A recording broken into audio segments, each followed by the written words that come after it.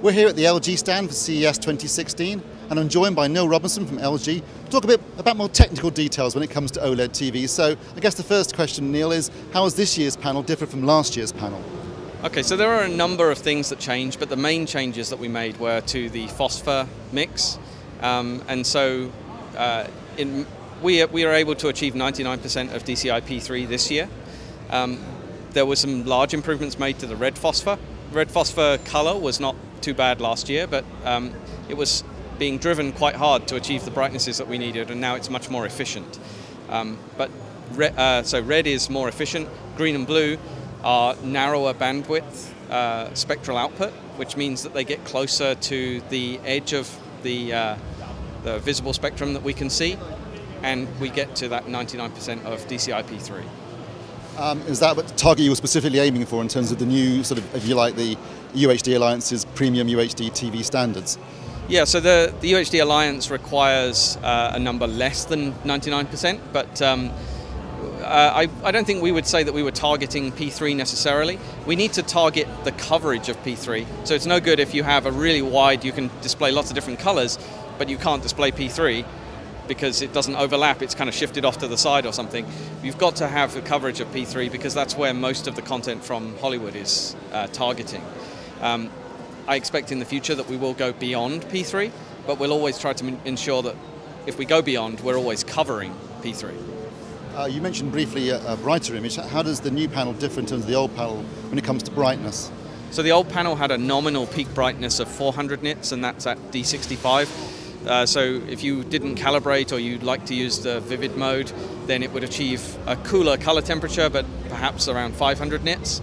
Um, the newer panels, uh, we're, we're seeing around a nominal value of 600, so some will be brighter, some will be not so bright. Um, but that again is at D65, so it's uh, an improvement of around 50%. And again, there's obviously the UHD Alliance's specifications in terms of uh, brightness, both in terms of the peak white and also black levels. There's, there are two different standards now, one specifically for OLED TVs. Uh, and clearly, again, I guess you were trying to hit a specific target there? Yeah, so it wasn't intended to be specific for OLED. It's you know any technology that can achieve the, the very, very high contrast ratios um, is uh, able to meet the standards with a lower peak brightness. Um, like I said, our nominal peak brightness was uh, 600 for this year, um, and some panels may be lower than that, so the number is uh, gives us some safety to ensure that we definitely do meet the standards, exceed the standards. Um, but uh, but yeah, that, that's the, the rationale behind it. We do, of course, had to meet that standard. Uh, obviously, the reason everyone's talking about brightness and black levels yeah. is because of dynamic range and dynamic range, higher dynamic range, HDR. In terms of HDR, What's your take on HDR? Because um, there's a lot of confusion I feel about HDR, and people think it's just about brightness. Clearly, that is not the case. It's about dynamic range, black to white. What's your take on HDR personally? That's a that's a good question.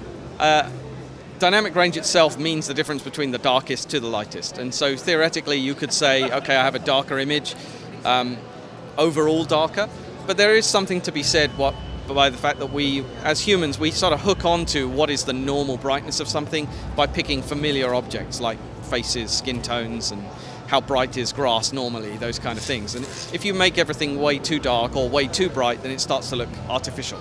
So, within reason, you can expand your dynamic range and uh, not go mega high in brightness, but you do have to have some increase in brightness over SDR.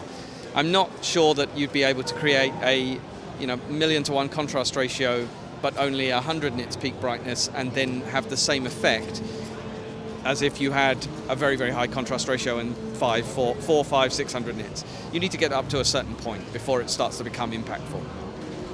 There are a number of different HDR formats uh, available. Um, what formats does the LG OLED TV support and why? So this year we are adding support for Dolby Vision. Um, at the end of last year, we did firmware updates to the, uh, the UHD models that we had um, to add HDR10 support.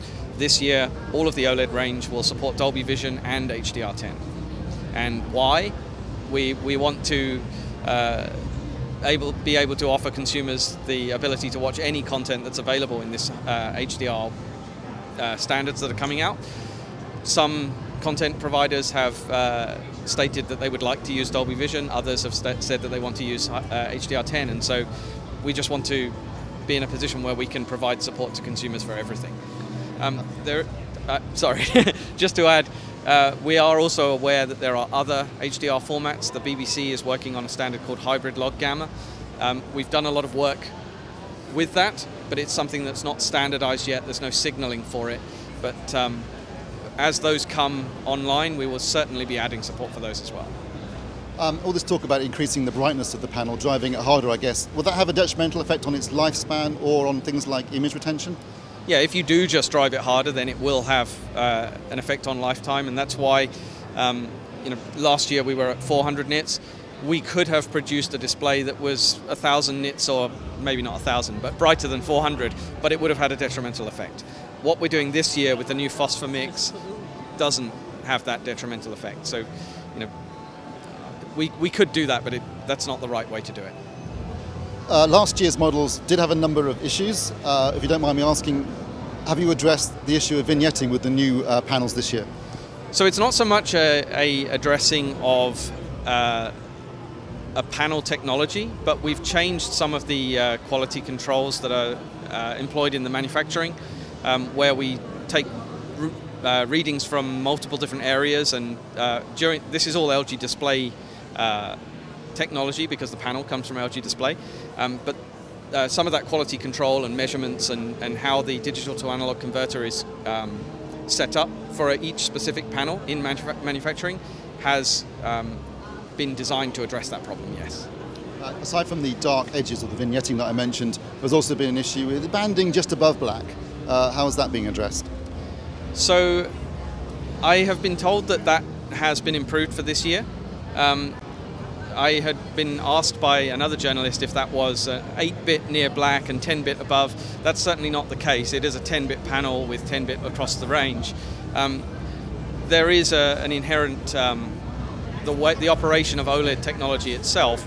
There is a, a, threshold at which you apply current and it starts to switch on.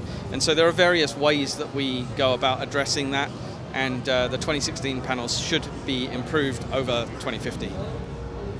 I did mention the, uh, the banding just above black, but there's also some vertical banding uh, visible at other brightness levels as well. Do you want to comment on that? Yeah, so the same quality control measures that were employed to improve the vignetting that you mentioned uh, should eliminate that as well.